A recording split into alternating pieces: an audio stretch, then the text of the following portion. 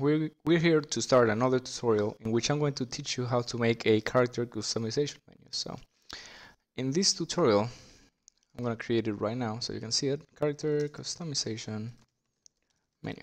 So in this tutorial what we're going to create is just a simple menu with a couple simple sprites and I'm going to teach you how to change the options and how to get a character customized as your player wants. Uh, this first one is only to only be about the uh, looks of the character and this and then um, on next tutorial we're gonna create a little uh, strength agility intel intelligence and then uh, we're going to actually make our character be something you know be an actual game object. But I'm gonna teach you how to create him for, from scratch not from a prefab. We can do whatever. I'm just I just want to teach you that because it's something that everyone should know so I created a canvas for our menu. In our canvas, I'm going to create, oops, a panel. Panel. I'm going to change the color of this panel to blue because that's what I like right now. It's like purple or something. I don't, I don't care. Um, I'm going to create an image. Right here. This is going to be our character's representation. I'm gonna put it over here, rather. A little taller. Okay, that's good. And I'm gonna create a couple UI texts. They're gonna be every single text is gonna be similar to the rest. So I'm gonna delete this. Well, I'm gonna make the first one hair hair type. Uh, set it to 22 black. Is just personal preference uh, so you can do whatever you want. Hair type. And now hair type text. I'm gonna duplicate it by hitting Control and D I'm gonna call it color text. So it's gonna be clothes color. Oops. It's too much text for this box. I'm gonna enlarge the box a little bit and, uh, and I'm gonna duplicate this one again. I'm gonna move it over here. It's gonna be strength. I duplicate it again. This is gonna be agility. Text. I forgot the text on the upper one. Text. One more for intelligence. Text now I'm going to, you know, change the text. It's going to be strength, agility, and intelligence. Intelligence. Okay, now what what else do we need? We need buttons. We need buttons to change our everything, our hair type, our whatever we want to change. So text I don't want any text on my button so I'm just gonna use this. It's gonna be my hair changer button. I'm gonna change the image on it. I'm gonna change the image on my button to drop down arrow and I'm gonna rotate it on the z-axis by 90 degrees over here. So I'm gonna make it smaller it's too big. Okay. That works. That's perfect uh, maybe a little there you go. Now I'm gonna duplicate it move it over here. I'm gonna call it color changer button. And then I am going to create another duplicate. Gonna be my strength. This is not for this tutorial I'm just setting everything up. Button and then another one is going to be agility button. And then another one is going to be intelligence button. So agility calm down. Intelligence for down. Intelligence the word doesn't fit. So I'm gonna make the box bigger. Set save the scene. For saving it I'm gonna create a new folder. It's gonna be called scene. And in it just the number one Okay, so we have our menu set up.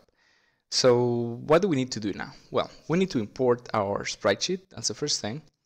I'm going to import my Robin tutorial ss.psd file, which is going to be in the description. I'm going to I'm going to create a new folder. This folder is going to be called resources. Why? Because Unity has this special method, a special function that's called uh, resources.load. It only works if you have a resources folder on your project. I'm going to teach you how.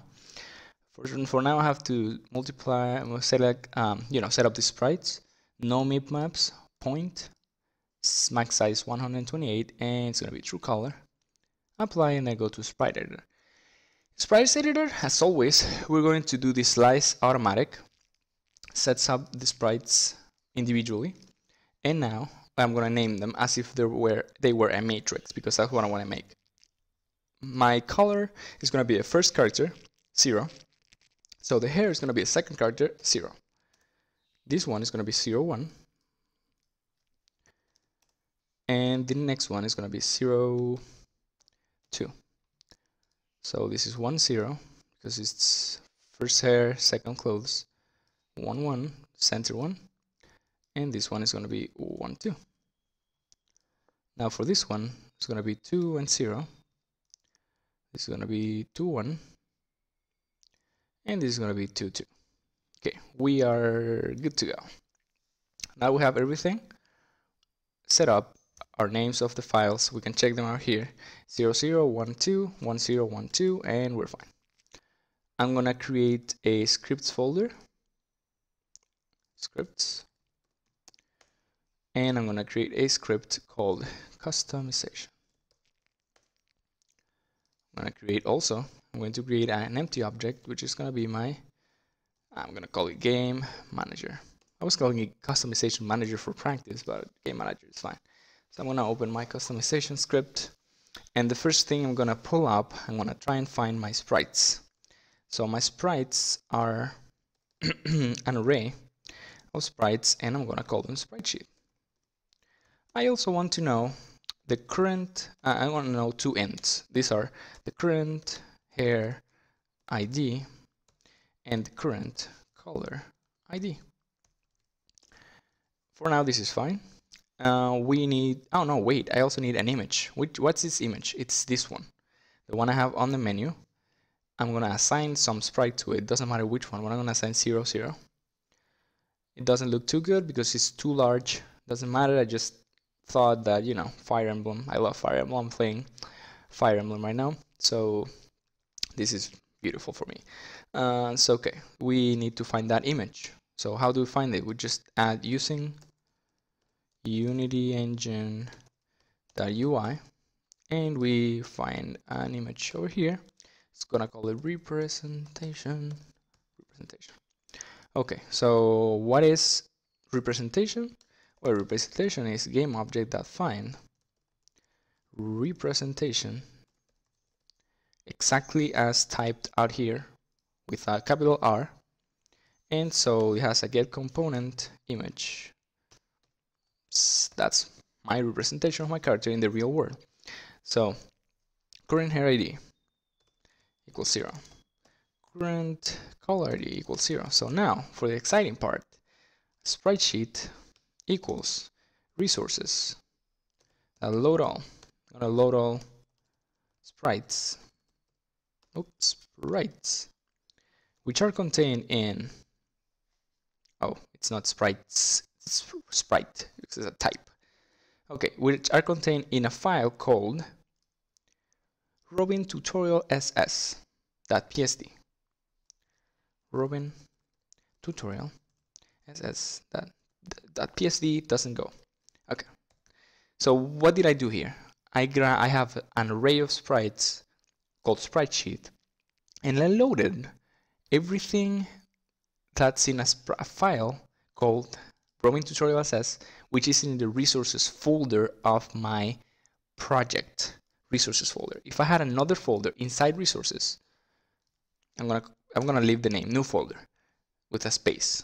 I will have to do this new folder if this file was inside there with this kind of slash not the other one this one but it's on the root of resources so I don't have to do anything else.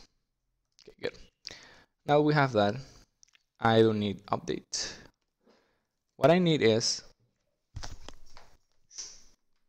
what I actually need is um, to create. I'm sorry, just dogs are trying to fight each other for some reason. Uh, they're weird dogs.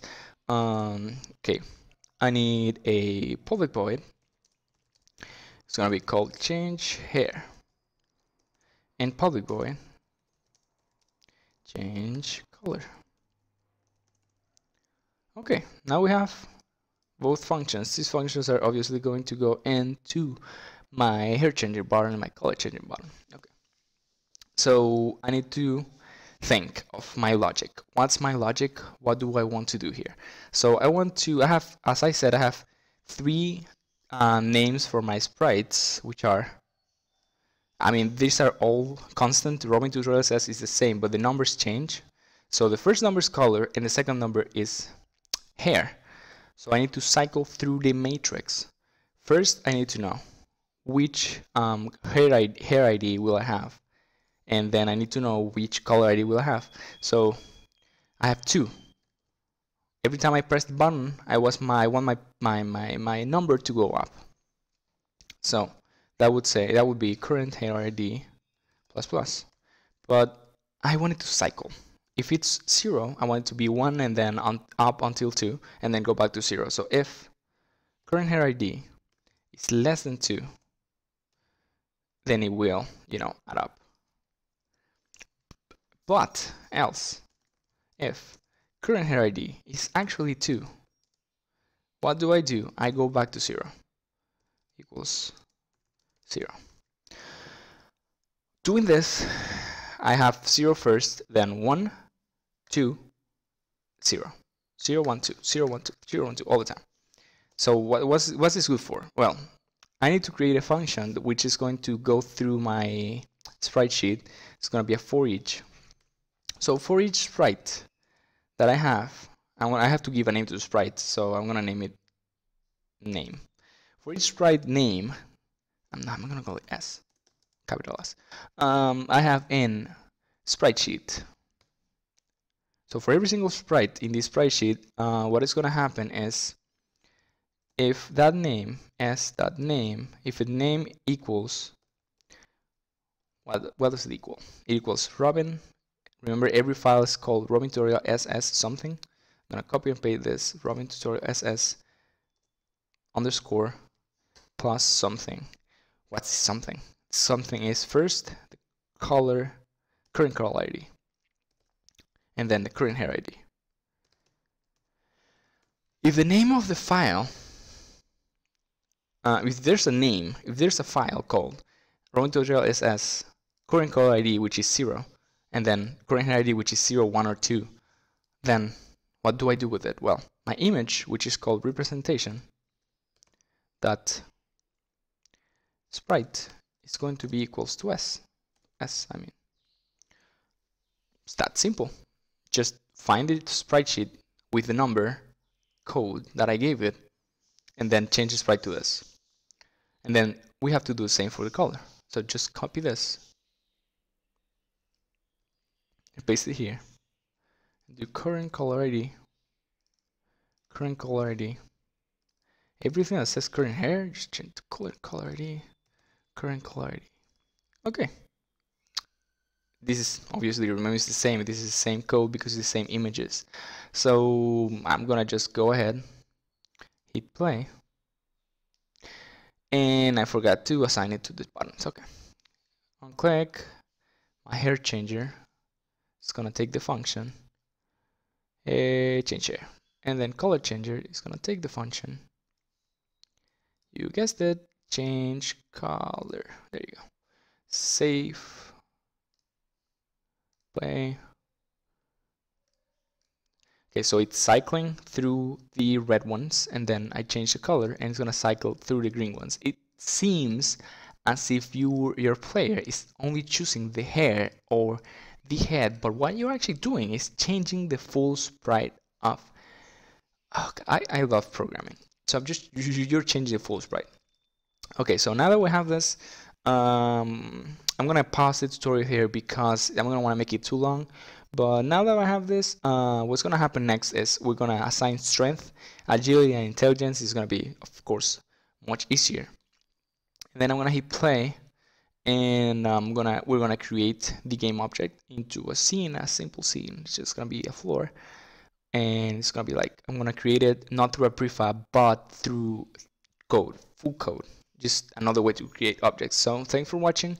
If you have any questions, just ask them in the comments or in my Twitter or whatever you want. Thanks for watching. See you later.